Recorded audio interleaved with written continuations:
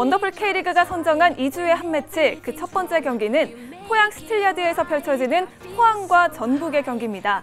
동아시안컵 휴식기 이후 첫 경기에서 나란히 승리를 가져간 두 팀인데요. 과연 연승을 이어갈 팀은 어디가 될까요?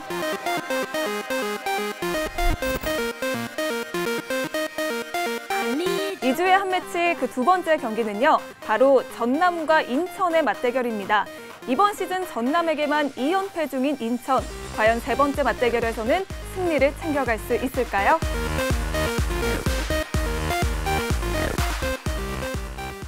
네, 원더풀 프리뷰 그 첫 번째 경기로 포항 대 전북의 경기를 준비했는데요. 먼저 예상 포메이션부터 살펴볼까요? 네, 이 두 팀의 경기를 제가 준비했습니다. 아, 포항과 전북 항상 물고 무는 경기가 펼쳐지기 네. 때문에 저 개인적으로 기대가 되는데요. 먼저 포항의 포메이션부터 알려드리겠습니다.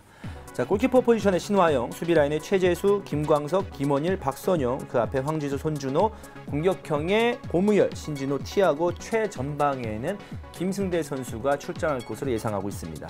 전북의 포메이션입니다. 골키퍼 권순태, 왼쪽부터 박원재, 윌킨슨, 김형일, 최철순, 그리고 수비형 미들에 이호, 정훈, 그 앞에 레오나르도, 이재성, 한교원, 최전방에는 이동국 선수의 출장을 예상해봤습니다.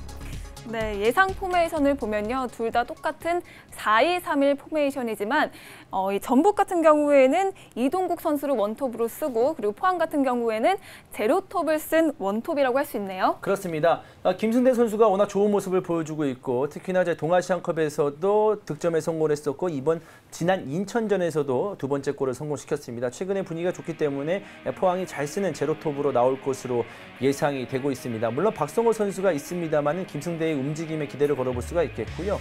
역시 전북은 이제 이동국 선수가 최전방에서 좀 풀어 줘야지만 좀 경기가 풀어나가는 어떤 그런 모습이 있기 때문에 이동국의 힘을 믿어보고 그 밑에 이재성이 받치는 전술을 들고 나올 것으로 예상을 해봤습니다. 네, 그리고 이동국과 이근호 이 투톱 전략에 대해서도 최강희 감독이 고민을 하고 있다라는 발언을 했는데 두 분은 어떻게 생각하세요? 네. 네, 뭐 말씀하실 건가요? 네. 고민이 될 걸로 보입니다. 근데 이근호 선수가 지난 경기에서 후반 12분에 출전하지 않았습니까? 네. 어, 지난 경기에서 약 35분 정도를 뛰었다고 보면 되겠는데요. 하지만 아직까지는 100%의 컨디션은 아닌 듯 보여요. 물론 이근호 선수 특유의 뒤로 침투에 들어가는 장면은 몇 차례 연출을 했지만 은 공격 포인트를 기록하는 데는 좀 어려움을 겪었거든요. 근데 이동국과 이근호의 투톱 또는 이근호가 측면 내지는 이선 중앙 그러면서 다양한 조합이 가능하니까 이근호 선수가 컨디션이 조금 올라온다면 아마도 최강희 감독은 이근호, 이동국 투톱에 대해서 고려를 좀 더 많이 하지 않을까 생각을 합니다. 근데 네. 아직까지는 컨디션적인 측면을 봤을 때는 이근호 선수를 교체 출전을 좀 많이 시킬 것 같아요. 네, 이런 최강희 감독의 선택은 뭐 그 아예 없었던 건 아닙니다. 이제 이근호 선수가 울산에 있었을 때 김실 뒤를 받치면서 섀도우 역할을 해주면서 굉장히 좋은 모습을 보여준 적이 있거든요. 아마 그런 기억 때문에 이동국을 좀 음, 박히는 스트라이크로 두고 그 뒤에 많은 움직임을 가져가는 이근호 선수의 섀도우적 능력을 좀 믿어보지 않을까라는 생각 때문에 최강희 감독이 이런 말을 한 것 같은데 말씀해주신 대로 이근호 선수의 컨디션만 어, 괜찮게 유지가 된다면 충분히 어, 써볼 수 있, 는 그런 전략이라고 생각이 듭니다. 네, 그런데 반면에 이 포항 같은 경우에는 외국인 선수의 어떤 부진이 가장 큰 문제로 부각이 되고 있잖아요. 그렇기 때문에 황선홍 감독이 좀 고민을 많이 할 것 같아요. 그러니까요. 오랜만에 이제 문호를 개방을 했는데 네. 이번 시즌에 잘 터지지 않고 있습니다. 네. 뭐 전북의 레오나르도, 그리고 전남의 오르샤, 그리고 제주의 로페즈 이 선수들의 반만큼만 해줘도 포항이 이렇게 어렵진 않을 겁니다. 외국인 선수가 지금 하는 게 없습니다. 인천전에서도 네. 라자르 선수가 나오긴 했습니다만 뭐 고군분투했습니다만 어쨌든 공격 포인트를 기록하지 못했고요. 그리고 또 하나 고무열 선수도 좋을 때는 엄청나게 좋고 오른쪽 티아고 선수도 외국인 선수인데 좋을 때도 뭐 아, 상대 선수 뭐 두세 명은 금방 쉽게 제칠 정도로 좋은 모습을 보여주고 있는데 역시 좌우 측면에서도 기복이 있습니다. 아, 외국인 선수의 부진과 더불어서 기복 있는 좌우 측면이 좀 안타까운 포항의 모습이고요. 어, 전북 같은 경우에는 두 경기 연속 어려운 경기를 펼쳤습니다. 지난 수원전에서도 아, 물론 굉장히 멋진 경기 제 3자가 봤을 때는 어, 이거보다 더 좋은 경기가 없을 정도였습니다만은 어, 전북 팬들의 마음을 조마주게 만든 경기가 있었고 이번 부산전에서도 어, 상대의 자책골이 나와주면서 좀 숨통이 트이면서 두 번째 골을 쉽게 기록할 수 있었거든요. 결국 전북은 선제 득점이 초반에 나오지 못하면 최근 두 경기에서 굉장히 어려운 경기를 펼치고 좀 마음이 급한 모습을 보여주고 있는데 선제 득점이 빨리 나와야지만 전북 특유의 공격적인 모습을 어, 기다려볼 수 있을 것 같습니다. 음, 네. 그렇다면 이번 경기에서 키플레이어를 좀 꼽아볼까요? 네, 포항에서 키플레이어는 신진호 선수를 뽑았습니다. 어우, 제가 진짜 잘해요. 네, 아우, 네, 그런 리액션 굉장히 좋고요. 그 제가 이제 앞서서 외국인 선수의 부진을 말씀을 드렸는데 이 선수가 이번 시즌 중반에 중동에서 돌아오면서 굉장히 좋은 역할을 해주고 있고요. 포항의 공격을 이끌고 있다라고 말해도 과언이 아닙니다. 예전에 이명주 선수의 향기가 나오고 있거든요. 그리고 이제 어려운 상황 속에서도 날카로운 오른발을 가지고 있기 때문에 그 프리킥 한 방으로서 전세를 아예 바꿔버릴 수 있는 힘도 가지고 있기 때문에 이 선수를 한번 뽑아봤고요. 그리고 이제 전북에서는 박원재 선수를 한번 선정해 봤습니다. 아, 그동안 박원재 선수는 풀백 포지션에서 활약을 하고 있는데 최강희 감독의 머릿속에서는 약간 멀리 있었던 선수였습니다. 하지만 최근에 모습을 점차 드러내고 있고 그리고 부상에서 복귀한 이후에 말이죠. 그리고 아, 지난 경기에서도 교체 투입돼서 굉장히 안정적인 수비를 보여줬거든요. 그렇기 때문에 풀백에서의 풍성함을 가져다줄 박원재 선수이고 이번 경기에서 박원재 선수의 활약 여부에 따라서 이제 상위 스플릿에 올라가서 얼마만큼 많은 출장 기회를 받을 수 있을지가 결정짓게 되는 한 판이 될 수도 있다는 생각 때문에 박원재 선수를 한번 뽑아봤습니다. 네, 예, 지난 경기 나란히 2대 0의 승리를 이끌어간 두 팀입니다. 과연 어느 팀이 연승을 이어갈지 지켜보도록 하겠습니다. 그럼 이번에는 두 번째로 넘어가 보도록 하겠습니다. 두 번째는 전남 대 인천의 경기인데요. 이번에는 송 위원께서 준비하셨죠? 네, 상승세의 전남과 3연패를 당한 인천이 대결을 펼칩니다. 먼저 포메이션을 통해서 양 팀의 선수 명단을 알아볼까요? 자, 전남은 4-2-3-1 포메이션을 올 시즌 내내 고수하고 있죠. 최후방은 700경기 이상을 소화한 김병지 골키퍼가 책임지고 있고요. 포백은 왼쪽부터 현영민, 임종은, 이지남, 최효진, 그리고 수비형 미드필더는 김평래와 정성민, 이선 같은 경우에는 오르샤와 이종호, 안용우가 그리고 최전방은 스테보가 책임질 걸로 보입니다. 자, 인천은 4-1-4-1 포메이션을 올 시즌 내내 보여주고 있는데요. 최후방에는 유현 골키퍼가, 포백에는 박대한, 김진환, 요니치, 권완규가, 그리고 수비형 미드필더에는 김원식 선수가 지난 경기에 퇴장을 당했기 때문에 이슬기 선수가 기용이 될 걸로 보이고요. 이선 공격은 박세직, 김도혁, 조수철, 김인성이, 최전방은 케빈이 책임질 걸로 보입니다. 네. 예, 앞서서 설명해 드렸지만 이번 시즌에 인천은 전남에게 2연패를 당하고 있습니다. 어, 전남이 인천에게 강했던 이유 바로 날카로운 공격력이라고 할 수 있겠죠. 네, 전남의 창은 정말 무섭죠. 전남 같은 경우에는 지난 광주전에서 득점포를 가동하지 못했지만은 득점 찬스를 계속 만들어내는 모습을 보여줬고요. 그리고 올 시즌 득점원이 정말 다양해졌습니다. 스테보, 오르샤, 이종호, 그 안용우, 이선에 있는 수비형 미드필더까지도 순간적으로 치고 들어가면서 해결해주는 모습이 있거든요. 그 정도로 득점원이 다양해졌기 때문에 전남의 창이 전체적으로 위력을 발휘할 것이라는 예상이 가능하죠. 하지만 인천의 방패도 만만치 않습니다.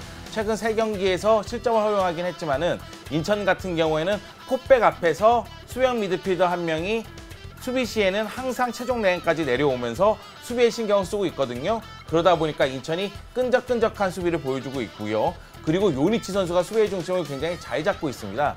결국 이 경기는 전남의 창과 인천의 방패의 대결로 보입니다. 네. 그런데 이번 경기에서 또 변수가 있잖아요. 바로 김도훈 감독이 벤치에 앉을 수 없다는 얘기죠. 네, 지난 그 포항전에서 심판에게 강하게 어필을 하다가 네. 퇴장을 당했고요. 경기 직후 김도훈 감독은 할 얘기가 없다, 아, 죄송하다면서 아, 본인의 답답한 마음을 강력하게 피력하기도 했습니다. 네. 그리고 이제 그 반칙 장면만 10번 이상을 봤다고 하면서 어, 굉장히 좀 음, 아쉽다라는 그 표현을 좀 했고요. 인천 김도훈 감독이 시즌을 시작하면서 정 구단을 상대로 승리를 거두는 것이 목표였는데 이번에는 이제 벤치에는 앉지 못하지만 선수들을 잘 다독여서 좋은 모습을 보여줄 수 있으면 좋겠고요. 이날 경기에서 사실 심판 판정이 좀 아쉽긴 했어요. 아, 좀더 이제 정확한 심판 판정을 좀 어, 기다려 봅니다. 음, 네, 비록 이번 경기에서는 김도훈 감독을 그라운드에서 볼 수 없게 됐지만 그래도 어떤 승리 묘수를 갖고 나올지 기대를 해보도록 하겠습니다. 그렇지만 또 전남이 최근 분위기가 너무 좋아서 상대하기가 좀 쉽지 않을 것 같아요. 네, 전남 선수들은 최근에 인터뷰를 통해서 우리가 다음 경기에서 패배할 거라고 생각하지 않는다라고 얘기까지 했어요. 어. 그 정도로 기세가 대단합니다. 그러니까 광주전 같은 경우에는 0대0 무승부를 기록했는데 이 경기는 전남에게 굉장히 어려운 경기였어요. 왜 그러냐면은 전남은 광주 징크스가 있었거든요. 근데 이 경기에서도 패배를 당하지 않으면서 최근 10경기에서 6승 3무 1패를 기록했습니다. 그 정도로 상세를 타고 있는 모습인데요. 좀 전에 언급한 공격수들 오르샤는 오를 대로 올랐고요. 스테보는 여전히 스테보입니다. 자신의 역할을 해주고 있고 이정우 선수도 대표팀 가서 득점포를 가동한 다음에 돌아왔죠. 안영호 선수는 도움이 역할을 하니까 공격은 계속해서 위력을 발휘하고 있고요. 수비도 이진남이 중앙 쪽으로 들어오면서 안정감을 찾은 모습이에요. 그 수비형 미드필더들은 굉장히 많이 뛰면서 팀의 중심을 잡고 있고요.